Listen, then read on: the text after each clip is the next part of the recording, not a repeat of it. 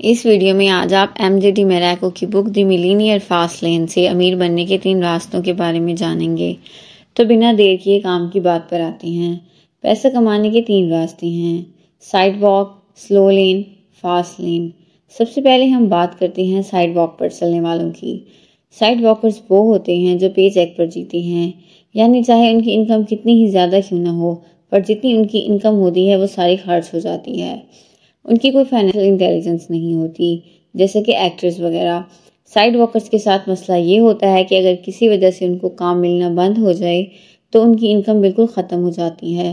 वो लोग बिल्कुल सड़क पर आ जाती हैं, क्योंकि उन लोगों को कोई और काम करना नहीं आता। दूसरा रास्ता है स्लो लेन जिस पर मैक्सिमम लोग चलते हैं। यानी लोग अच्छी तालीम हासिल करते हैं, फिर अच्छी जॉब करते हैं और फिर 50 साल की उम्र तक काम करते हैं और कुछ सेविंग्स करके इन्वेस्ट करते हैं। इस तरह वो अपना बुढ़ापा आसानी से गुजार सकते हैं। ये रास्ता साइड वॉक से सेफ़ है और ज़्यादातर लोग इसी रास्ते पर चलते हैं, क्योंकि वो फास्ट लेन की डिमांड्स पूरी नहीं कर सकते और वो यही करते हैं कि मंडे टू सैटरडे फुल काम करना।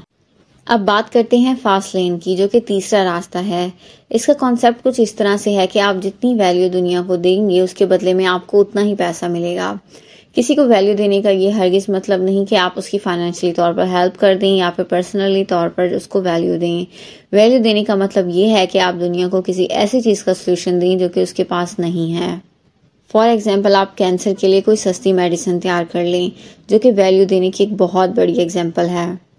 फास्ट लेन का आइडिया यही है कि आप जितनी ज़्यादा वैल्यू लोगों को देंगे, आपको उतना ज़्यादा पैसा मिलेगा। सुनने में तो ये काफ़ी आसान लगता है, लेकिन फिर भी लोग ज़्यादातर स्लो लेन पर क्यों चलती हैं? इसकी वजह ये है कि ज़्यादातर लोग खुद को इस काबिल नहीं बना पाते कि वो लोगों को वैल्यू दे सकें। क्योंकि आप सारा दिन टीवी देखकर या फिर अपने कंफर्ट जोन से बाहर निकले बगैर ऐसा नहीं कर सकते। जिस तरह बिल गेट्स ने माइक्रोसॉफ्ट इंट्रोड्यूस कराकर लोगों को बहुत ज़्यादा वैल्यू दी और आज दुनिया के अमीर लोगों में से एक है। आप भी अपनी कंफर्ट जोन से बाहर निकलें और लोगों को वैल्यू देना शुरू करें। आज के लिए सिर्फ़ इतना ही। अगर आपको वीडियो अच्छी लगी तो इसे लाइक करें और चैनल को सब्सक्राइब करना मत भूलें। Thanks for watching